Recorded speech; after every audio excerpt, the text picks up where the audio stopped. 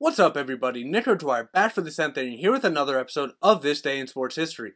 In yesterday's episode, we had a rare feat which saw Rod Carew get his 3,000th career hit, and at the same time, we also saw Tom Seaver notch his 300th career win, the only time a 3,000th hit and a 300th win have come at the same time.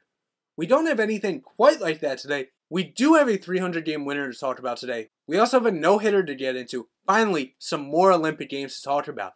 So if y'all enjoy this video, leave a like on it. If you're new to the channel, like what you see, hit that subscribe button. Let's get into it.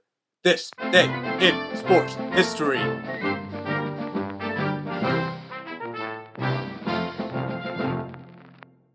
We start off today in 1901, and Peter O'Connor would set the first officially recognized world long jump record at 24 feet 11 and a half inches or 7.61 meters.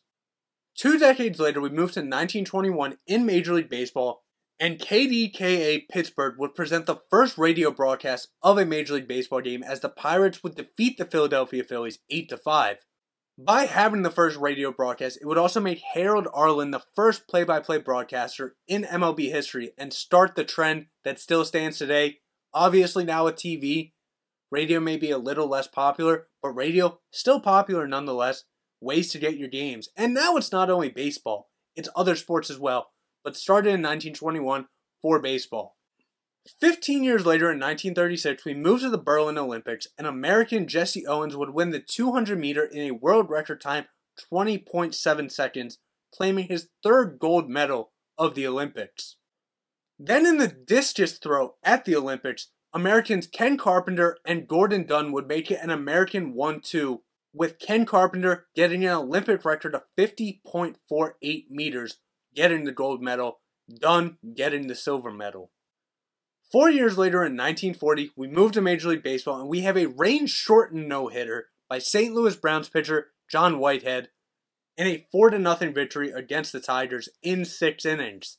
On the day, Whitehead six innings pitched, one walk allowed, two strikeouts. It was range shortened though, so it's not officially recognized as a no hitter. Still impressive nonetheless. We moved to 1948 at the London Olympics, and Americans Sammy Lee and Bruce Harlan would go 1 2 in the 10 meter platform diving, with Sammy Lee getting the gold and Harlan getting the silver. Then in the 400 meter, there would be a Jamaican 1 2 in 48 at the London Olympics, with Arthur Wint tying the Olympic record at 46.2 seconds. Best in teammate Herb McKenley, who would get the silver medal, but Wint would tie the record and get the gold medal. Finally, at the London Olympics, a Swedish sweep of the medals in the 3,000 meter steeplechase, with Tore Sjöstrand taking the gold, Erik Elmsäter taking the silver, and Göte Hagström taking the bronze. We now move up all the way to 1973 and we'll start in Major League Baseball. Atlanta Braves pitcher Phil Niekro would no hit the San Diego Padres in a 9 0 victory. This would be the first no hitter since the franchise moved to Atlanta, 12th in franchise history. But on the day, Niekro, 9 innings pitched, 3 walks allowed, 4 strikeouts. We stay in 1973 and we have a world record in the 1500 meter when 15 year old Stephen Holland would beat Mike Burton's world record by 14.78 seconds with a time of 15 minutes, 37.8 seconds. Not only would he get this record here, but he would also break this record just a couple of months later. Six years later, we go to 1979. We start with the MLB Hall of Fame induction. Willie Mays at 94.7%, which is blasphemous. Warren Giles and Hack Wilson would all be inducted into the Hall of Fame. Willie Mays would be the only person inducted by the BBWAA. Then at the PGA Championship in 1979, David Graham with a score of 8 under would win on the third playoff hole against Ben Crenshaw to win his first of two majors. Three years later, we stay at the PGA Championship in 1982. Raymond Floyd would fire an opening round 9 under 63, tying the tournament 18 hole record at the time. Two years later, we go to the Los Angeles Olympics in 1984, and Joan Benoit would win the first Olympic marathon for women at 2 hours, 24 minutes, 52 seconds obviously setting an Olympic record since it was the first. Then in the men's 400 meter hurdles at the Olympics, Edwin Moses would win the gold, making it his 105th consecutive race victory. We stay in track and field and we move to the 100 meter on the women's side at those games. American Evelyn Ashford would run an Olympic record time of 10.97 seconds to defeat teammate Alice Browns, who would get the silver. Finally, at the 84 Olympics, the rowing competition would conclude with Romania dominant in the women's section, winning five of the six gold medals. The U.S. would take the other. Two years later, we moved back to Major League Baseball in 1986, and Giants pitcher Steve Carlton would become only the second player to reach 4,000 strikeouts when he would strike out Red center fielder Eric Davis in an 11 6 loss. Carlton would have three strikeouts on the day, and he would be the first of two left handers in the 4,000 strikeout club. We move up two years to 1988, and thoroughbred trainer Dale Baird would win his 5,000 career race with Stuff Johnny, becoming only the second trainer to reach the milestone behind Jack Van Berg. Three years later, we move to 1991 and we have a pole vault world record when Sergei Bubka of the Soviet Union would break his own world record with 6.10 meters or 20 feet. And he would go on to hold this for just under one year when he would then break it again.